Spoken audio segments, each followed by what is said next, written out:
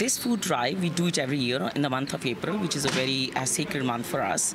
In honor of Sikh Heritage Month, members of Winnipeg's Sikh community are coming together to host a food drive aimed at giving back to those in need. This year, it's uh, uh, based more on aiding the the struggle that the food banks are facing because the prices are rising, the inflation is there, and the food banks are struggling. It's called Fill the Truck Challenge, and the goal is to fill a five ton truck with non perishable food items by the end of April. The goal was to fill up the five ton truck, and uh, it's part of the 20,000 meals uh, nationally, which I think the GTA already surpassed that just by themselves 35,000 meals they they just did last week, and uh, so this is this is beyond our whatever goals have been nationally. We're just bringing them together, putting them in boxes, filling up that truck, um, and kind of showing everyone how much the hard work has truly paid off. It's a visual of how much it has paid off. Khalsa Aid, along with Sikh Heritage Manitoba,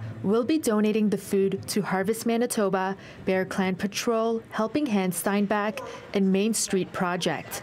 For members of the Sikh community, giving back is all part of their belief system. Well, it translates very perfectly to the concept of seva. So seva is pretty often term um, translated to what is selfless service. Um, so yeah, the intention is basically we as a community know that we have the capabilities of coming together to collect money, to collect food, and give them to food banks. Food insecurity is like it's never been it's it's never been more intense. Anastasia Ziprick from Main Street Project says food drives like this one provide crucial support for the community. There's some high value items that sometimes we run out of, so um, just the basics. So meat, dairy, um, good quality produce, fresh produce, baby formula.